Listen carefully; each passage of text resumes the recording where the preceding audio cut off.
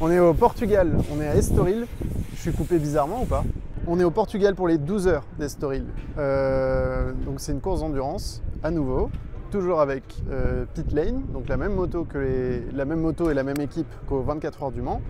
Sauf que cette fois-ci c'est plus court, c'est 12 heures de 9h à 21h samedi. Aujourd'hui on est lundi. On est lundi aujourd'hui? Oui. Oui.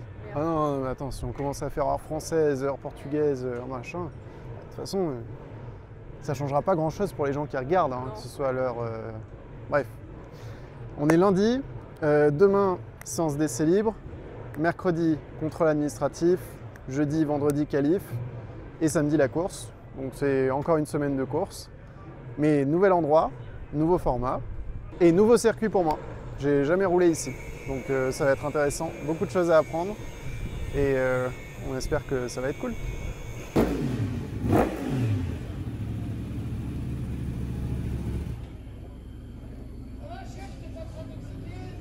Est-ce que pour la fin de la série des vlogs euh, WC, on pourra filmer la caméraman Non. Parce qu'on l'entend, mais on la voit pas. On la voit jamais. Ah, qu'est-ce qu'on l'entend par contre Elle travaille dans l'ombre. hein. plus que moi. Elle travaille plus que toi. Ah oui, oui, c'est sûr. L'entrée des sondes, elle est... Et euh, à la sortie du coin. Le droit, tu sous deux pas. Tu restes euh, dans le droit et tu peux pas te trembler.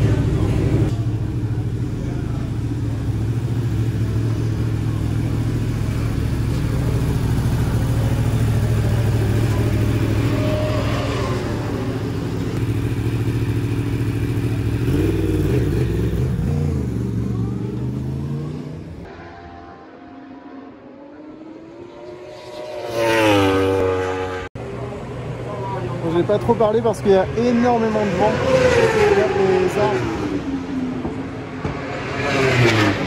Ça continue. Euh, Max et Alex ils se sont fait des belles frayeurs à cause de ça. Moi ça va, c'est trop bizarre mais les repères de freinage et tout ça peut rien à voir. Parce que des fois tu as le vent dans le dos donc il faut freiner plus tôt. Des fois tu de face donc tu peux freiner plus tard. Et tu te dis bah freine plus tard mais si jamais à ce moment-là il n'y a pas de vent, bah je freine pas. C'est pas très agréable. C'est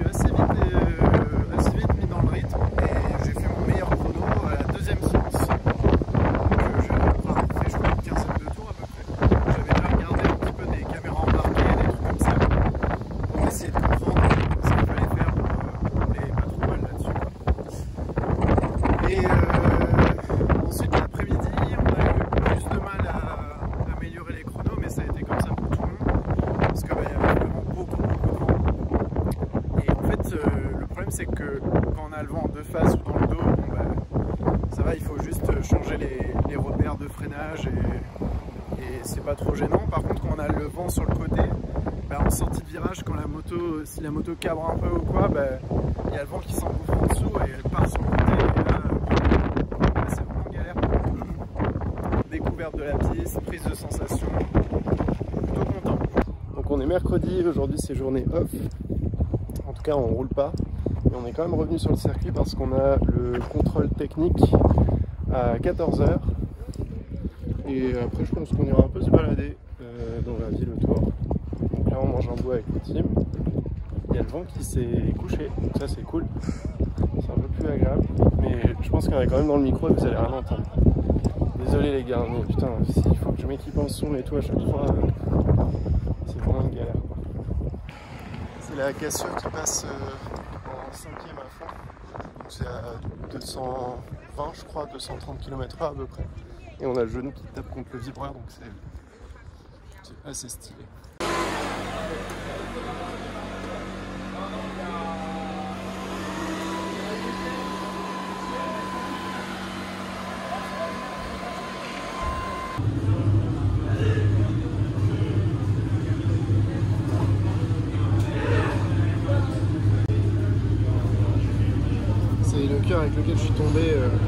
24 heures du monde, donc il a été réparé. Normalement, il était troué là dans le dos. En fait, il repeigne les endroits qui sont râpés. Ils m'ont remis des tous les badges, alors que normalement c'est imprimé. Pareil sur les fesses, c'était imprimé, je crois normalement. Bien. Ça se voit même pas que je suis tombé.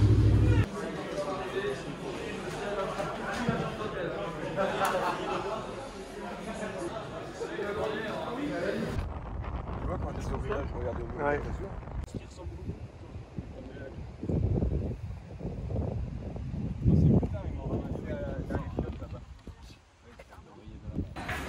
On est au magasin de bricolage pour acheter une piscine. Parce que demain, il va faire, enfin, toute la semaine, il va faire chaud.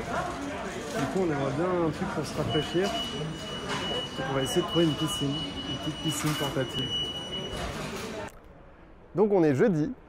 Il est 9h44. On a une grosse journée parce qu'on a essai libre de 11h à 13h. Et ensuite, on a une qualif euh, de 16h à 17h20 on passe pilote par pilote. Donc moi je passerai à 17h. Et après on a des essais de nuit à 19h. Donc c'est des essais de nuit où il fait pas encore nuit, parce que la course ne se déroule pas de nuit en fait. Mais c'est juste pour euh, commencer à s'habituer, je pense, au soleil un peu plus bas et tout ça. Il s'avère que le circuit n'est pas assez bien éclairé. Donc euh, ils évitent de nous faire rouler de nuit parce que c'est dangereux. Ils ont essayé de le faire l'an dernier, mais les pilotes ont râlé. Donc euh, ça va nous faire normalement à peu près 4-5 relais par pilote. Donc c'est déjà une, une bonne course. hein.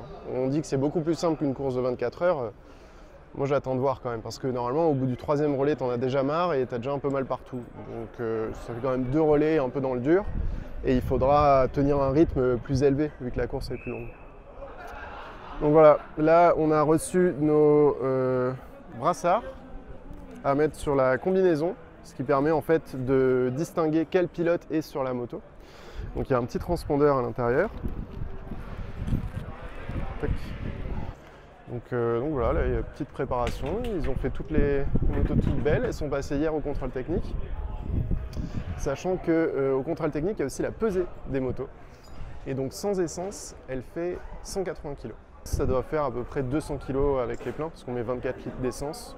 Donc ça doit faire juste en dessous des 200 kg. Donc c'est à peu près comme une moto d'origine. Voilà. Il, y a, il y a quand même des phares dessus, il y a les polis qui sont un petit peu plus lourds que les carénages d'origine, mais il n'y a pas la bavette, il n'y a pas tout ça. Bon bref, au final ça s'équilibre un petit peu. Et le problème c'est qu'en endurance on ne peut pas avoir une moto trop légère parce qu'une moto plus légère c'est une moto fragile. Donc potentiellement c'est une moto qui peut casser plus facilement en cas de chute. Donc euh, voilà. Maintenant je vais mettre un bandeau dans mes cheveux et aller mettre un brassard. On a les essais libres qui sont décalés parce que avec le Covid, il n'y a pas assez de commissaires. Donc euh, au lieu de rouler à 11h, on roule à 13h. C'est affiché là-haut. Free practice, postpone, new start. C'est là en fait qu'on a toutes les infos de la direction de course sur euh, le changement d'horaire. Du coup, on construit une piscine pour pouvoir se rafraîchir euh, entre les relais parce que là, il fait 31. Il fait 31 degrés déjà, donc euh, c'est bien d'avoir de l'eau fraîche pour euh, redescendre le corps en température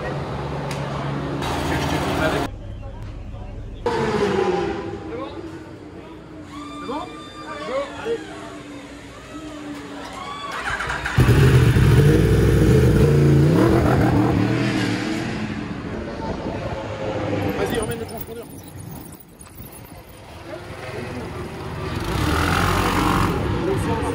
Ouais, on s'est goûté. C'est allumé dans la ligne droite. Allumait quoi la, la, la laine blanche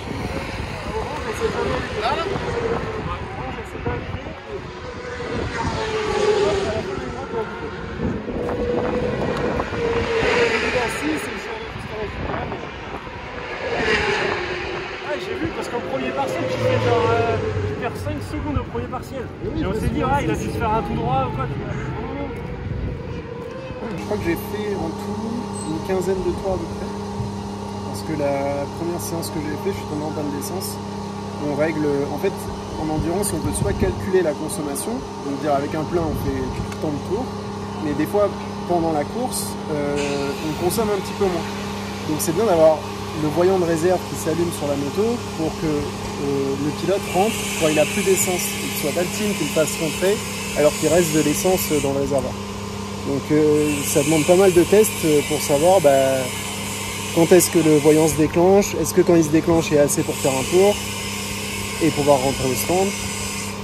Euh, bah, moi malheureusement il s'est déclenché et il n'y avait pas assez pour rentrer au stand. Donc je suis tombé en panne là-bas à l'autre bout du circuit et le temps de ramener la moto et tout, bah, ça a pris ça a dû prendre un quart d'heure je crois. Euh, 18 minutes en tout, 18 entre minutes. ton arrêt et Max quand, il est Donc reparti. euh, ça nous a enlevé pas mal de, pas mal de roulage. Mais voilà, euh, la piste est super chaude, 57 degrés. Donc ça glisse beaucoup, mais on n'a pas de vent. Alors qu'avant-hier on avait beaucoup de vent. Donc euh, au final moi je préfère que. Enfin je préfère ces conditions là que celles de mardi.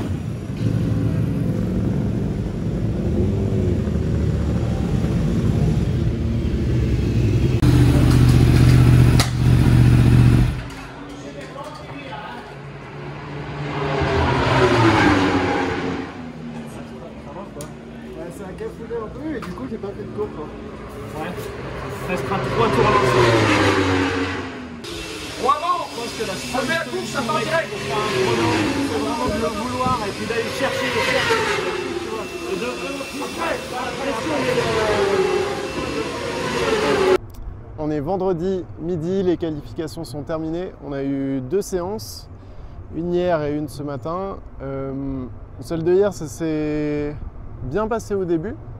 J'avais un bon rythme et, et surtout été dans un bon paquet de mecs qui roulaient vite. Donc ça m'a aidé à, être plus à l'aise et à avoir plus de vitesse de passage. Euh, malheureusement j'ai perdu l'avant au quatrième tour je crois. Euh, j'ai perdu l'avance sur les freins en entrée de virage. La moto a fini dans le bac, il a fallu que je repasse quand même au stand parce que j'avais un demi-guidon un peu tordu, deux trois conneries. Et du coup le temps de la réparer, tout ça, de repartir, bah, j'ai pas fait un super chrono. J'ai roulé en 43.2 et idéal en 42.6, donc ça me faisait assez loin. L'idéal time en fait c'est euh, la somme de nos meilleurs secteurs. C'est-à-dire que le circuit est découpé en trois secteurs et, euh, et c'est pas forcément dans ton meilleur tour cumulé des trois secteurs que tu as été le plus rapide dans tous les secteurs. Bref. Euh, du coup, oui, quand tu es assez loin de ton idéal time, bah, tu pas très content parce que ça veut dire que tu pas du tout réussi à mettre tout bout à bout et c'est ce qui m'est arrivé. Ce matin, encore une qualif où je suis parti dans un bon paquet. Enfin, je pensais que c'était un bon paquet. Et là, il n'y avait pas des officiels, mais des mecs que je pensais être rapides et au final, pas trop. Donc, on s'est un peu gêné. On s'est gêné un moment en fait. Euh, du coup, je suis rentré au stand au bout de 3-4 tours. Je suis reparti. Il y a un mec qui a explosé son moteur là au milieu de la piste. Euh, on m'a changé les pneus arrière aussi. On roule avec des. En qualification, on met des MS0, donc c'est les Dunlop les plus tendres qu'on a à l'arrière. Et, là, il était vraiment marqué, il était abîmé. Vu que j'ai vu que j'ai pas roulé dans le rythme, en fait, les pneus s'usent plus. Et, euh, du coup, ils m'ont mis un MS2, c'était le, le seul pneu qui était prêt à partir. Donc un pneu qui est supposément un peu moins bien, mais j'ai quand même pu améliorer mon chrono euh, sur la fin où je suis reparti et j'ai eu, je crois, deux tours lancés. Et du coup, je fais 43-2 encore, et, mais j'améliore genre de 6 centièmes. En fait, j'ai du mal à me motiver et, à me mettre genre vraiment dedans et tout donner sur un tour quoi. Euh, je me suis un peu entraîné à faire ça là entre Le Mans et ici en cross, mais c'est pas suffisant. Il faut que, faut que je me force encore à le faire. Donc il faut voilà, faut que je, je switch un petit peu mon cerveau parce que j'ai trop tendance à penser que vu que c'est de l'endurance, bah, on peut rouler tranquille euh, et le but c'est pas se fatiguer et tout.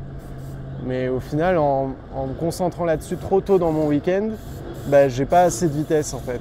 Je, roule, trop doucement quoi. Donc euh, voilà, j'apprends et, euh, et c'est quand même cool. Enfin, le circuit est mortel, voilà, je suis content, la moto est vraiment pas mal, le team ils sont au top.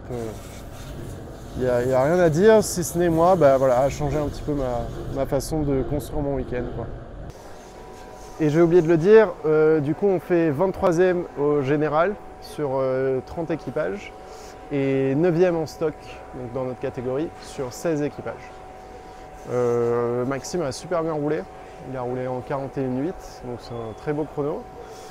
Et Alex et moi on est un peu moins rapide donc euh, bah, c'est toujours euh, un peu rageant de. Faut, faut forcément un mec moins rapide, hein, c'est normal, mais c'est chiant quand c'est toi quoi.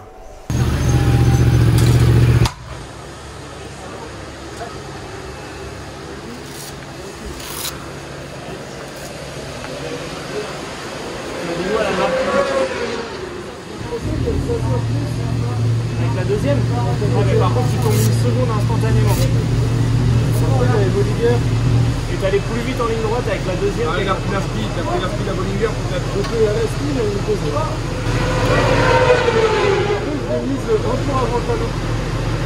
Ah d'accord. Ah oui, d'accord.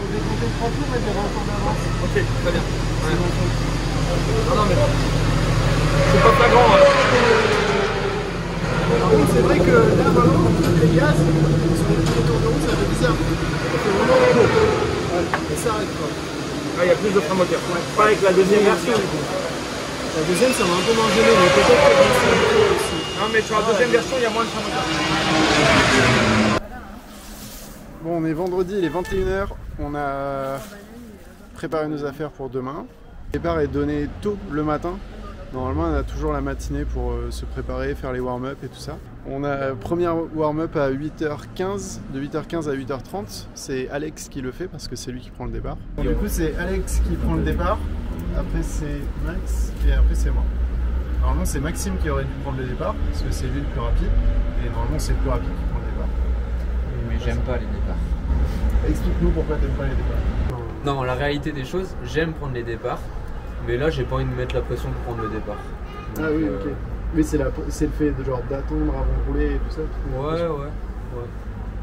Après s'il faut le prendre, je le prends. Mais Alex, c'est son- c'est le pilier de l'équipe. hein. C'est- On a un mec d'expérience, c'est fait pour ça. Ça doit être ça. T'en as pris combien toi de départ en endurance? 5 Ouais, quand même. 6 6 C'était plus. Peut-être le prendre en fait. Et t'es tombé combien de fois? Vrai, ça, dé- ça, part- ça- c'est à partir de combien de tours Non, dans le premier relais. Ah, une fois. Bon, ça va. Ouais. Et toi Ah, non, moi je suis tombé une fois. Et j'ai fait aussi un tout droit en Malaisie. Et euh, bon. Tout droit, ça va. Ah ouais, non, mais un vrai tout droit. ah ouais, ouais. T'as perdu plus de temps que la chute du Mans. Que ta chute du moins toi, tu veux Ouais. dire Ouais. Oh, peut-être pas quand même. Bon, C'était 40 secondes la chute. Ouais, j'ai perdu plus de temps. Et Adrien, tu veux pas prendre de départ toi? Non, pour moi c'est trop tôt. Le l'heure de pas- départ? Je prendrai pas avant midi. non, c'est euh, j'ai pas assez d'expérience en mille. Et du coup, genre, ne serait-ce que quand on part en qualif et qu'on est proche, je suis pas à l'aise, tu vois. Ouais. Alors, euh, je me dis s'il faut éviter ou. euh, Ou doubler ou autre. Ouais, ouais. même doubler, au final, c'est pas si simple que ça avec le mino. Oui, parce que l'an dernier, c'est. Premier relais ça Non, mais l'an dernier, en fait, ouais, ça, ça a foiré dès le premier relais. C'est- En vrai, ça a cassé au deuxième rôle. Du coup, Genre, demain, si on fait deux relais, ce sera déjà. Mais plus que l'an dernier. Ah oui, ça sera déjà une victoire. hein. Si tu- en gros, si tu roules demain, c'est que C'est que c'est bon. C'est qu'on a fait bon. mieux que l'an dernier. Ça enlève la pression, du coup. Ouais. Bah, pour toi. Oui. Parce qu'il faut que ça passe nous deux quand même. C'est pas le plus simple.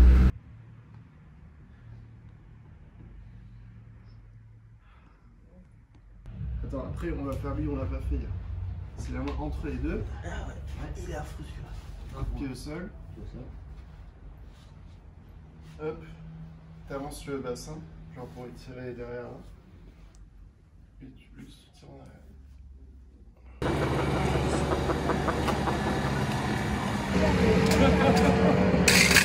Bah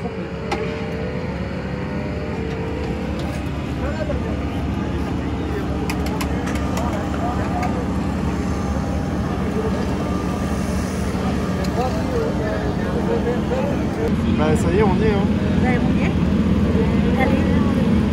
Ça ira mieux là dans 20 minutes, on sera parti. Bon,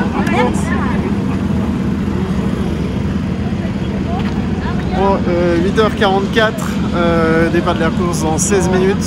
C'est donc Alex qui prend le départ. Euh, ça fait bizarre, les tribunes sont toutes vides et il fait pas trop chaud. Donc euh, on n'a pas encore trop roulé dans ces, conditions. Normalement, ça devrait être moins dur pour les pneus. La piste devrait un peu moins glisser, mais voilà, faut, faut rester euh, prudent. Euh, dans 7-8 minutes, il y a Alex qui va se placer là dans le roue, qui va courir vers la moto et partir. Euh,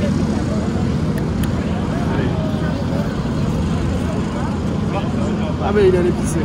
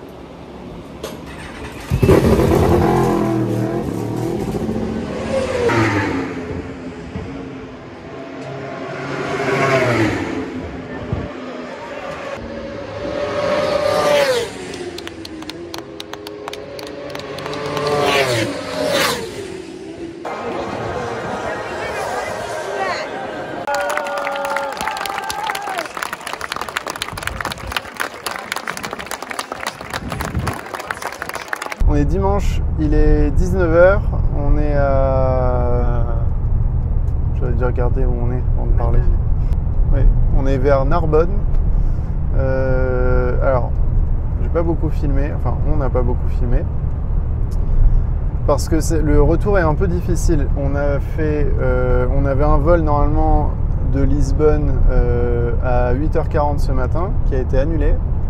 Donc euh, on a dû aller à l'aéroport à 5h30 du matin, faire les tests Covid, les machins, pour finalement prendre un vol en direction de Bordeaux, louer une voiture avec Alex, le déposer à Toulouse. Et là, on trace jusqu'à Marseille, où- on a volé à l'aller. Il n'empêche que euh, la course s'est plutôt bien passée jusqu'à bah, les 9 premières heures. Et ensuite, on a eu un petit problème d'essence. Enfin, on a eu déjà un petit problème euh, qui a obligé Maxime à repasser au stand. C'est un capteur de pression d'huile qui a rendu l'âme. Et du coup, il y avait un code défaut au tableau de bord. Et dans ces cas-là, on prend pas de risque. On, on rentre au stand pour checker et voir si, si on peut continuer à rouler ou pas. Là, c'était juste un capteur, donc on a pu rouler avec le voyant allumé. Et ensuite, bah, malheureusement, il restait 3 heures de course et c'est Alex qui est tombé en panne d'essence dans son tour de rentrée au stand, donc dans vraiment le tout dernier tour de son relais. Il est tombé en panne en plus à l'autre bout du circuit, donc euh, bah, pas de chance. On a perdu, je crois, 5 ou 6 tours, alors qu'on était plutôt bien. On était quatrième en stock, Euh, même avec les ravitaillements et tout, on était troisième pendant un moment. Donc je pense pas que ça aurait tenu jusqu'à la fin parce qu'il y avait deux, deux teams derrière, il y avait la 33 et la 18 qui avaient un meilleur rythme que nous quand même. Donc euh, ils nous auraient doublé quoi qu'il arrive, mais bon, bah, là on a perdu vraiment beaucoup de temps et beaucoup de place. Et on s'est retrouvé 9ème avec, euh, je crois, deux tours de retard sur l'équipe de devant et un tour de retard sur l'équipe de derrière. Donc euh, bon, malheureusement, il n'y avait plus grand chose à aller chercher. Mais c'était quand, même, euh, c'était quand même cool. En tout cas, sur la moto, moi j'ai pris des bonnes sensations. J'ai beaucoup aimé le circuit. Euh, je l'ai trouvé vraiment top. C'était pas facile en course parce qu'on a eu des températures très chaudes au milieu de l'après-midi. La piste elle montait à 50-55 degrés même. Et, du coup, bah, faut faire attention parce que les pneus ont moins d'adhérence dans ces conditions-là. Donc on a vite fait de faire une petite erreur et tomber. Euh, Par chance, ça ne nous est pas, euh, pas arrivé cette fois-ci, mais voilà, deux petits soucis techniques qui, bah, brident un petit peu notre, notre performance. Mais bon, après voilà, c'est comme ça, c'est l'endurance, euh, ça, arrive à tout le monde. euh. Enfin, il y avait des grosses variations de température, donc euh, bah, forcément, il y a des moments où la moto consomme plus, consomme moins, et c'est pas toujours simple de savoir exactement combien il reste dans le réservoir. Euh, en tout cas, voilà, physiquement ça allait pas mal aussi, je suis content. Euh, j'ai pas eu trop de douleur malgré le fait qu'on n'ait pas eu de kiné cette fois-ci. Euh, faut dire aussi qu'une course de 12 heures c'est quand même un peu plus simple. C'est-à-dire que dès le deuxième relais, bon bah physiquement déjà euh, t'accuses un peu le coup, surtout que avec la température et tout ça tapait vraiment. Mais euh, tu te dis oui, ok là j'ai plus que deux relais à faire au final et coup ça te fait un regain d'énergie et c'est plus facile de, de te remotiver et de, retrouver bah, l'énergie pour aller chercher des chronos et être régulier et tout. Donc voilà, pas satisfait du résultat, mais satisfait de mes sensations et du plaisir que j'ai pris sur la moto. Ça c'était cool. Donc euh, c'est de bonne augure pour la prochaine course qui sera normalement au Paul Ricard. Donc un circuit que je connais un peu, enfin je connais bien même. Euh, et voilà, j'ai hâte d'y être. Surtout que bah, là encore, l'équipe a super bien bossé. Euh, bah, pas de problème euh, sur la moto. On, progresse quand même vraiment pas mal euh, au niveau du développement, des réglages, parce que bah, je ne détaille pas tout ce qu'on fait dessus, mais en gros, à chaque fois qu'on prend la piste, on a quelque chose à essayer. Des cartographies moteur, donc la façon dont la moto délivre sa puissance, ou des cartographies d'électronique, donc la façon dont l'électronique bride la moto pour qu'elle donne le plus de performance possible. Et petit à petit, on avance quand même dans le bon sens. Donc euh, ça, c'est plutôt agréable. Et, euh, et toute l'équipe se donne du mal et se donne les moyens pour qu'on y arrive. Donc euh, ça aussi, c'est motivant. Quoi. Quand il y a tous ces mecs qui sont derrière et qui, font, qui donnent le meilleur d'eux-mêmes pour que nous aussi, on puisse donner le meilleur de nous-mêmes sur la moto, bah, c'est top. Donc hâte d'être à la prochaine au Paul Ricard pour le bol d'or. Et d'ici là, normalement, il y aura une course de track. Si c'est pas annulé ou si. je sais pas. Ah, et cette fois-ci, j'ai pu filmer un tour en essai libre parce que c'était des essais libres privés. C'était pas organisé par euh, Eurosport Event et du coup, il n'y avait pas cette histoire de droit et tout. Donc euh, voilà, j'espère que ça vous a plu.